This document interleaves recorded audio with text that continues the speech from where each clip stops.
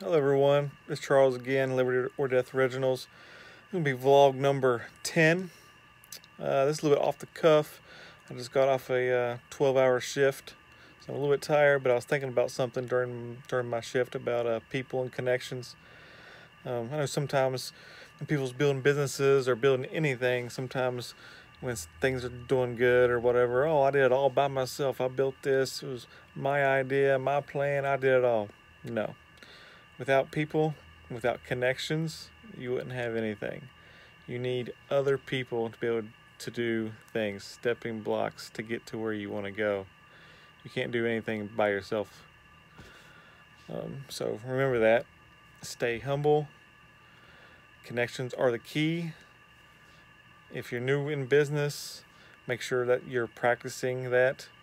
You're practicing, you know, talking to people, making connections.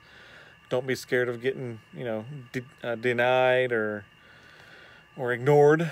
You know just keep going you know. Try to make connections as many as possible. You know you might reach out to to a hundred people. If one comes back that's fine. You made one connection. So keep hustling keep doing what you're doing stay humble and remember connections are the key. You can't do anything by yourself. Until next time see you